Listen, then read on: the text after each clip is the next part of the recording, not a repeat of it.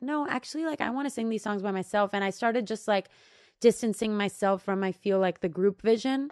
Camila Cabello is finally revealing why she left Fifth Harmony.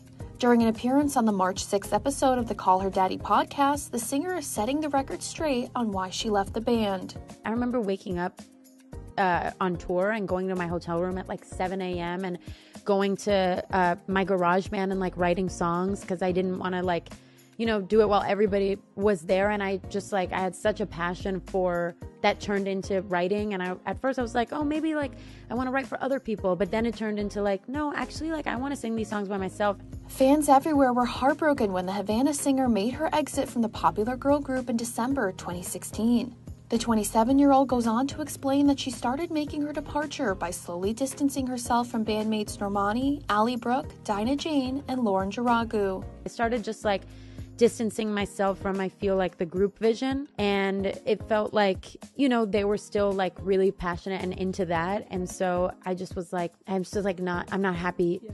here anymore like I, I, it doesn't feel aligned and Camila doesn't regret her decision to leave the award winning group, sharing that looking back on her time with the band, she knows it was worth it to get her to where she is today. I feel like I'm like, can really focus on and remember the really joyful times. And, you know, I grew a lot in that group. However, Camila's departure was not without controversy, with conflicting stories about whether she talked to the other members before leaving, which she claims she did. And this isn't the first time the Grammy winner has spoken about her split with Fifth Harmony, telling James Corden in a 2022 episode of Carpool Karaoke that while there are no hard feelings, she does not miss being in a band. Is there any bit of you misses being in a band? Honestly, no.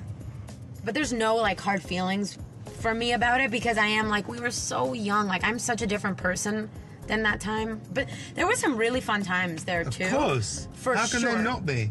And I and you know what? I do miss like being in a band in the sense that like when I am doing promo or whatever, like I want to have other people next to me to like banter off of, but I don't miss like splitting creative decisions five ways because I. You were about to say money. Be honest. I, I, I